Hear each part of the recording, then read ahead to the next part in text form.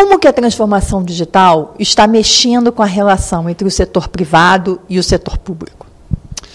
Olha, é, transformação digital está mexendo com todo mundo. Eu nem separaria entre setor privado e setor público, porque é, mesmo hoje no nosso, nosso evento aqui nos painéis se falou muito em tsunami. Né? Eu acho que a transformação digital, a revolução digital, ela está vindo como um tsunami. Né? É, seja nas aplicações que surgem a todo momento. A gente trata toda essa transformação com uma abordagem que a gente chama de economia das ideias. Né? No fundo, no fundo, no fundo, as pessoas hoje têm uma forma de viabilizar e implementar as ideias que surgem a todo momento, em qualquer lugar do mundo, para qualquer um, é, qualquer idade, né, na verdade, a gente vê aí garotos fazendo fortunas com aplicativos e soluções que ninguém nem imaginava há dois, cinco, dez anos atrás. Então, é, essa transformação, na verdade, ela traz um desafio muito grande para todo o setor de tecnologia, sejam as áreas de tecnologia das empresas, sejam os fornecedores, é, sejam, enfim, os, os, atores, as agências, os reguladores e tudo mais. Por quê? É, a gente vai ter que continuar tendo estruturas com segurança, com continuidade operacional, com performance, mas com agilidade, com dinamismo, com é, flexibilidade, é, com velocidade e é, atendendo e, na verdade, se confundindo muito com os negócios das empresas. Então, hoje, muito daquilo que é gerado, implantado na era digital, com toda essa transformação, já nem passa mais pelas áreas de tecnologia. Então, um outro desafio que traz para o mundo de quem vive com tecnologia é o capital humano. É a transformação da maneira de agir e pensar de quem atua na área de tecnologia. Porque hoje as áreas de mercado, produtos, comercial, marketing, já fazem grandes, grandes implementações. Muitas das ideias que surgem e são implementadas pela facilidade da, da, da, dos mecanismos e das ferramentas digitais são implementadas, às vezes, sem qualquer participação na área de tecnologia. Então, no fundo, no fundo, essa transformação digital a comparação com o tsunami, porque ela vai mudar a vida de todo mundo, já vem mudando. Né? A minha, pelo menos, muda todo dia, acho que a sua também. e a gente está se tornando é, impaciente, a gente está se tornando muito demandante. A, a expectativa está lá em cima. Né? Hoje é impossível você entrar num banco para fazer uma transação, em qualquer, em qualquer é, é, mecanismo, um celular, um note, ou seja lá o que for, se passa 5, 10 segundos e a, e a informação não vem aquilo já é uma eternidade. Né? Quando antigamente, pelo menos quando eu comecei a trabalhar como office boy, eu ia no banco pagar duplicata e ficava no mínimo uma hora na fila para pagar uma duplicata. Né? Então, assim, é um pouco disso que está se falando da transformação. Mas, enfim, vai mexer, está mexendo, vai continuar mexendo com a vida de todo mundo. O ano, o ano, esse ano no Brasil está bastante conturbado. A gente tem um momento econômico complicado, a gente tem a instabilidade política. Como é que está a relação das empresas tradicionais de serviços de TI com os seus clientes neste momento? O que está mudando nesse cenário? Uhum. É, essa é uma pergunta de um milhão de dólares, né? Mas assim, eu, eu vou, vou responder de maneira muito, muito objetiva.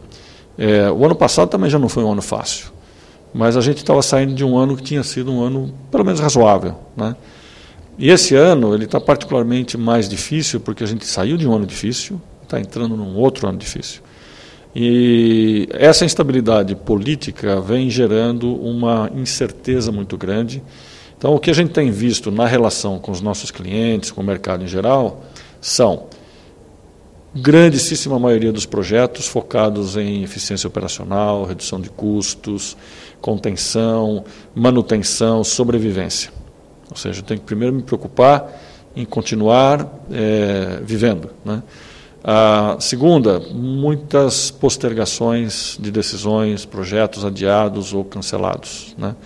É, o que a gente tem visto são muitas é, dúvidas em relação ao que vai acontecer.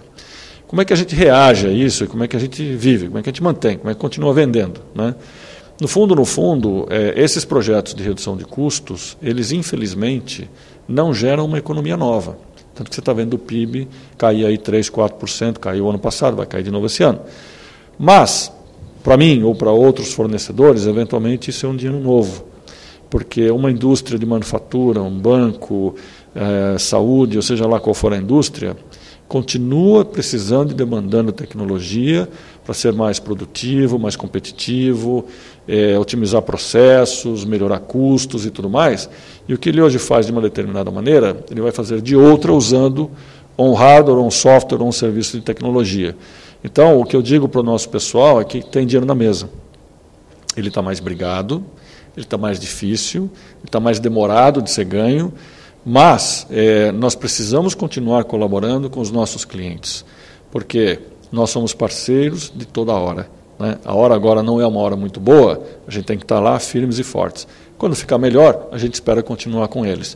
Então, essa é a abordagem que a gente vem tendo é, na relação com os parceiros, estamos entendendo as situações, muitas solicitações de renegociações contratuais.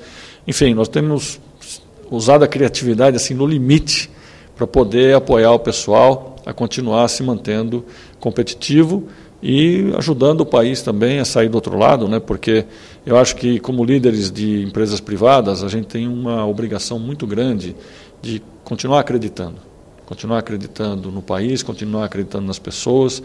Eu gostava muito daquela propaganda da Coca-Cola, posso falar né, o nome, que dizia que os bons ainda são a maioria. Eu continuo acreditando nisso e eu acho que se a gente é, na, na, na, no setor privado abaixar a cabeça e achar que é, metade do Brasil acabou ontem, a outra metade vai acabar amanhã, não vai resolver. Né? Nós temos que continuar acreditando que as instituições estão acima de qualquer coisa, a crise política vai ser resolvida, nós vamos voltar a ter uma boa estabilidade econômica e vamos voltar a crescer. E nesse cenário, a HPE está no seu ano 1, um, vamos chamar assim, depois da cisão. Qual é a tua meta e como é que, tá, como é, que é enfrentar esse ano 1 um com, esse, com, esse, com esse cenário todo? Como é explicar essa, essa transformação que, que a HP passou, né, a criação da HPE? Como, como é que é esse processo? Olha, é divertido, no mínimo divertido. Né? Eu, a gente tem um, uma série de princípios lá, onde um deles é have fun. Né? Hoje, a gente tem que se divertir fazendo aquilo que a gente faz e tem que gostar daquilo que a gente faz. Eu, pelo menos, sou um apaixonado pelo que a gente faz. A, o split da HP foi o maior split da história. Né? E hoje nós somos uma startup é, no mundo com quase 200 mil pessoas e mais de 50 bilhões de dólares de faturamento. Está é, tá sendo muito desafiador, porque evidentemente as metas são agressivas. Né? É claro que a, a matriz, a corporação, conhece a situação do país, conhece tudo o que está acontecendo. Ainda ontem eu tive é, uma conferência com eles, a gente explicou um pouco do cenário econômico, político e tudo mais, se é que dá para explicar. Né? Mas o que a gente tem falado também é o seguinte: de outro lado, é o que eu acabei de falar agora há pouco. Né? Tecnologia continua sendo demandada exatamente para poder ajudar as outras indústrias a enfrentar essa situação. Então, é, se você pegar os institutos que lidam com o nosso mercado, eles continuam dando conta de que o crescimento no setor de tecnologia no país continuará crescendo na ordem de 6 a 7% neste ano e nos próximos anos. Isso parece meio loucura, parece meio paradoxal, mas é exatamente porque TI é, é, é, é buscada para isso. Isso não gera economia nova. Então, na hora que a matriz olha para isso, fala assim: peraí, então tá bom, então vamos é, dar condições para que vocês continuem trabalhando de maneira equilibrada, de maneira ética, de maneira correta. Né? Vamos enfrentar os desafios, vamos ser mais agressivos, né? vamos buscar estar junto dos clientes para poder trazer o resultado para casa e poder atravessar essa crise junto com os clientes e sair lá do outro lado. É, é claro que a gente gostaria de estar no ano 1 um, num país crescendo, com economia forte, eu não sei se seria mais fácil, mas pelo menos as condições de contorno seriam um pouco, um pouco melhores. Né? Mas é aquele negócio, como brasileiros a gente está acostumado a, a, a, a, sempre ter um jogo de cintura maior, nós temos mais flexibilidades. A HP está no Brasil há 50 anos, a HP tá, a HPE está há 4, 5 meses. Mas a gente tem todo um legado, tem toda uma história, não é a primeira vez que a gente enfrenta uma crise, não será a última, né? e eu tenho certeza que a gente vai sair do outro lado. Então a gente continua com todo o apoio da corporação, é, para todos os nossos 6 mil colaboradores, a gente vem continuando a dar uma mensagem de ir para a rua, estar junto com o cliente, buscar os negócios, que a gente vai sair do outro lado. É assim que a gente está enfrentando o primeiro ano dentro de uma crise aí, política e econômica no país.